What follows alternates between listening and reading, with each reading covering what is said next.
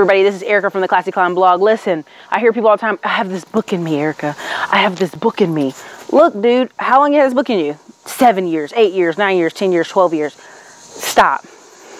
Go on your phone, Google uh, talk to text, and you can actually put this on your actual laptop and your computers.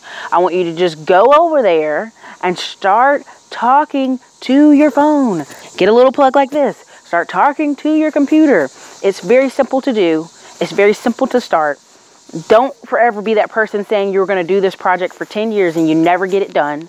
Even if the book sucks, you might have three other books in you that once you start this first one, you can get the other three done. It's about taking action.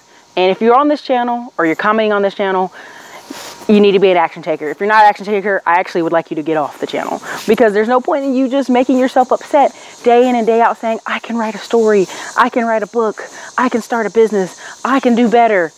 At some point, you have to just shoot the gun and go. Guys, it's Ericka, Classy Climb Blog. Later.